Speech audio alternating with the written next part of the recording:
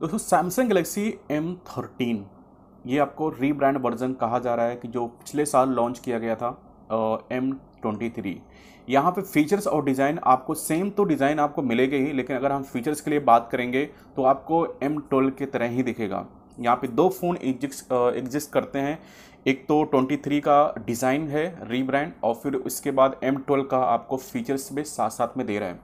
जहाँ तक देखा जा रहा है कि ये ऑफिशियली तरीके से इमेजेस को शेयर किया है, जो कि अच्छी डिज़ाइन लग रही है। एम ट्वेंटी थ्री की तरह ही है सेम सेम और बाकी हम देखते हैं इसमें क्या कुछ फीचर्स और भी ऐड हुए हैं। तो अपग्रेशन के मामले में अगर हम बात करेंगे तो अपग्रेशन भी आपको कमाल का है। लेकिन यहाँ पे एक बार देख लेंगे कि वाकई में ये चीज़ कितना कुछ अपग्रेड किया गया है। तो जैसे कि बात कर रहे हैं कि सैमसंग गलेक्सी एम थर्टीन के लेकर तो यहाँ पे पता चल रहा है कि आपको सबसे पहले जो डिस्प्ले दे रखा है डिस्प्ले की बात अगर हम करें तो वहाँ पे 6.4 और वेरिएंट की अगर हम बात करेंगे तो F twenty F thirteen octa core का Exynos eighty eight fifty processor के साथ साथ फोर जी रैम के साथ आपको ये आएगा।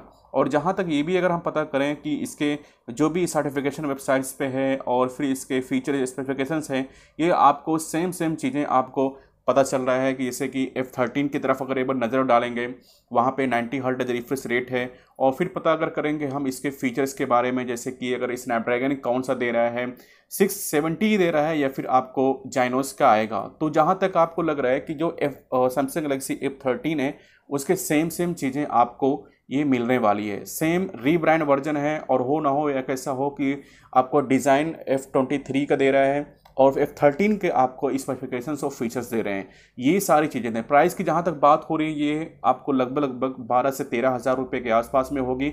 वेरिएंट सिर्फ़ यहाँ पे सिंगल देगा, चार जी रैम के साथ देगा सिक्सटी फोर जी का स्टोरेज होगा।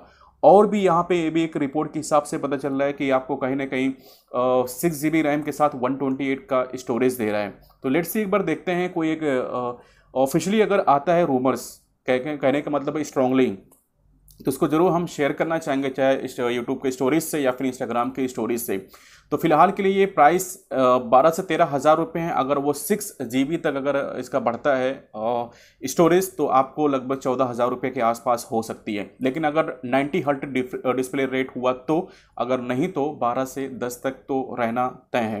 दोस्तों, बस उम्मीद करता हूँ वीडियो को पसंद है वीडियो को पसंद है तो जब लाइक करना शेयर करना। मिलता हूँ मैं से नेक्स्ट वीडियो में, तब तक के लिए टेक केयर